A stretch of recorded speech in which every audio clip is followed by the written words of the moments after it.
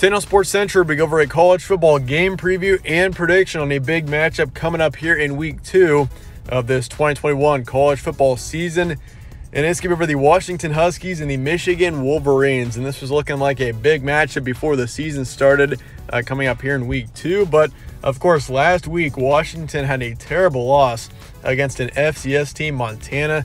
Uh, the Grizz knocked off Washington last week 13 to 7, which was a pretty terrible loss. I mean, if you're Washington, you cannot take a loss in that game. That should be an easy win um, and kind of a confidence booster heading into uh, week two, which it definitely was not for Washington. Uh, now you've got a pretty tough situation because if you lose this game, you're 0 2.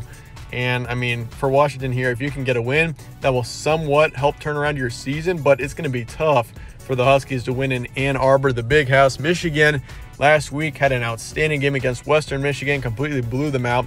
And the Wolverines overall looking like a pretty good team right now. So it's a very important game for both teams heading in. And we'll be over a full game preview and prediction on this matchup here today, starting out with your team trends. Last week, once again, Huskies lost to Montana 7 to 13.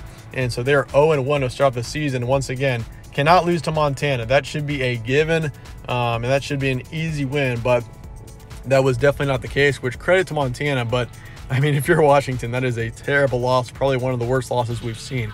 Uh, but for Michigan, we got um, a win against Western Michigan, 47 to 14. They took care of business last week. They're 1 and 0. And uh, the thing is, too, it also is in Ann Arbor. It is not in Seattle. So uh, for Michigan, that's also going to give them an advantage for sure in this matchup. This game is going to be on Saturday, September 11th, once again in Ann Arbor, 8 p.m. Eastern Time. It's in prime time as well, so pretty big stage uh, for a pretty important matchup here. Uh, Michigan is currently favored by six according to the spread. Uh, 51 is the over/under. ESPN FPI's got Michigan 82.6%.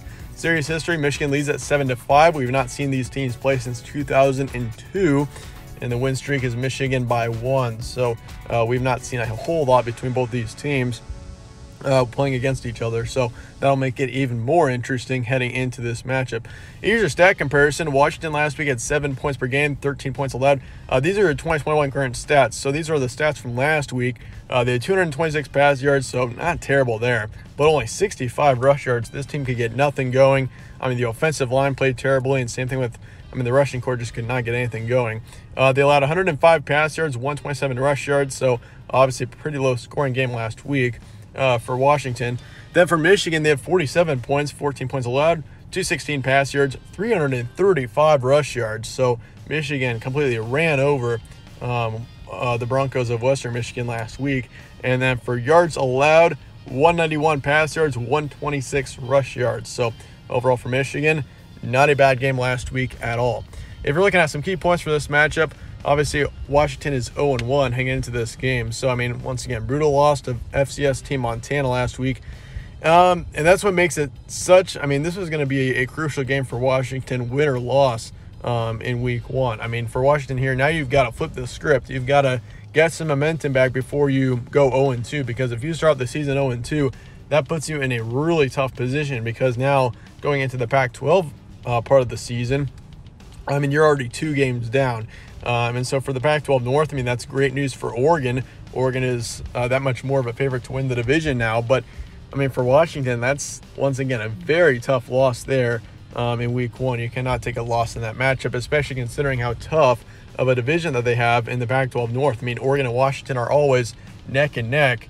And I mean, yeah, for Oregon, I mean, it's that's great news for Oregon, but for Washington, it is um, very devastating for sure. Uh, but yeah, there's lots of uncertainties at this point um, for this Washington team, and I think I think the Huskies are still a good football team. Like there's plenty of talent here.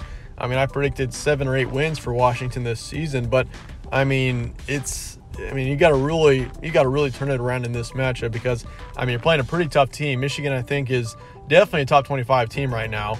Um, or actually, I'd say I'd say top 30. I think I have them just outside of my top 25 for this week, but you get the you get the idea. They're they're actually a pretty good team this year, I think.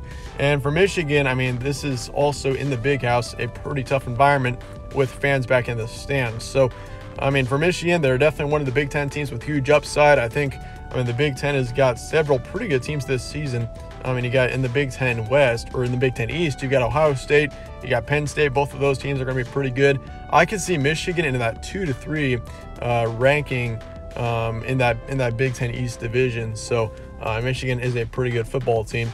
Rushing corps is a huge threat. Once again, as you saw earlier, uh, there were over 330 yards uh, by this Michigan rushing corps last week. So overall, Michigan's looking pretty good going to this matchup. Meanwhile, Washington has to catch up. And so it's going to be a huge game here. Definitely an interesting one.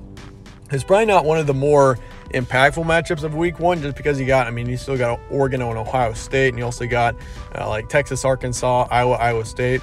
But this is still a big matchup for both these teams if you're looking at uh, if you're looking at the near future. But looking at my prediction for this one, I think we do see a win for Michigan pretty significantly. I think the Wolverines are definitely the better football team here, especially based off of Washington's performance last week. I mean, you've got no momentum and you're going to Ann Arbor. I mean, it's going to be tough for Washington. I think Washington could keep it close, but especially in the second half, we'll see Michigan start to pull the way a bit.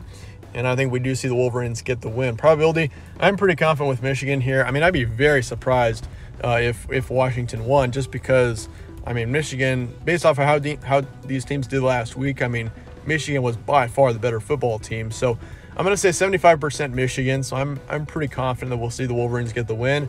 If this game was in Seattle on the flip side, there's a chance I'd probably pick Washington just because of the home field advantage. But Michigan is the better football team, I think, right now.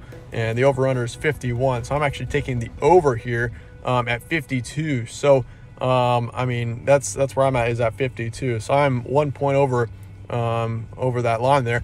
And so I mean, if you're if you're into betting, I mean, it's this is a very tough matchup to bet on.